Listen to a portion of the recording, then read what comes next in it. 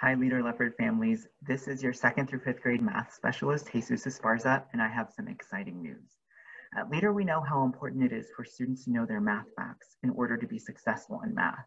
So what we're doing is sending home addition and subtraction flashcards to every first and second grader, and addition, subtraction, multiplication, and division flashcards to every third, fourth, and fifth grader so that they have some extra time to practice those facts at home. Um, we want this to be a fun and engaging experience for them. And that's why we're also sending home a long list of flashcard games for them to try out with you and anyone else at home. And I'll be going over some of my favorite games. But first, let's take a look at what these cards actually look like. So I opened up the addition flashcard stack, and these cards look like this. They'll have number sentences on both the front and the back. And in the corner, you will see the number sentence for the for what's on the other side of the card and the answer to that number sentence. At the bottom of the stack, you'll find this note to parents from the card maker and also some fun games that are suggestions from the card maker themselves. So now I'll show you my favorite flashcard games to play.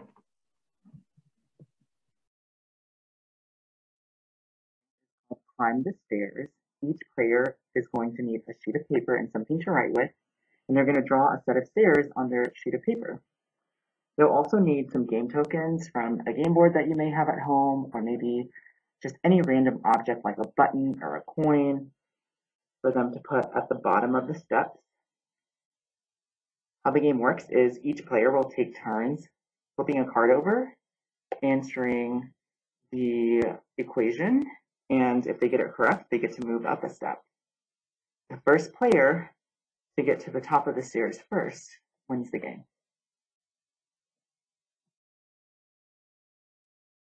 This game is called Around We Go, and you'll need to spread out your cards in a large circle.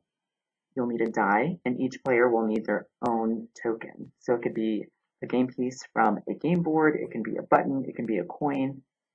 Players will each pick a random place to start around the circle, and then they'll take turns rolling the die and move however many spaces show up on the die. So I roll two, so I get to move my game piece two spaces, and I have to answer whatever card I land on. If I answer it correctly, I get to keep the card.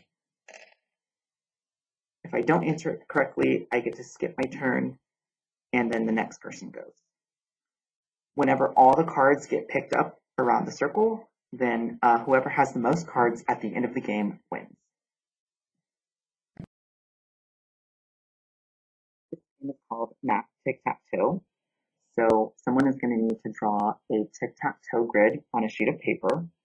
One player's X's, one player's O's, and each of the players take turns picking a card from the stack they answer it correctly, they get to make a move on the tic-tac-toe grid. So this is four, I get to make my move. The next person goes, they say the answer to this is 10, so they make their move. The next person makes their move, and it's just like regular tic-tac-toe. Whenever a player gets three of their symbol in a line, then that means they win that round and the players can keep playing rounds until they have no more cards left and whoever has won the most rounds has won the whole game. Called 13 in a row. For this game, you'll need to have a stack of cards and each player will need to sit on one side of the stack. So I'm sitting here, my partner could be sitting on the other side right here and we'll be taking turns taking a card from the top, flipping it over, and answering the question. So this is 19. We're going to put it in a row in front of us. My next one is 8. And the goal, as you're laying them out in a row in front of you, is to lay them out in order from smallest to largest. So since this answer was 8, it's going to go first. This one's going to go next because 8 is smaller than 19. So for my next turn, my answer is 9. So this card would go in the middle in between those cards. So you keep putting them in order as you get the answers, and the first player to get 15 cards in a row um, in order from smallest to greatest correctly wins the game.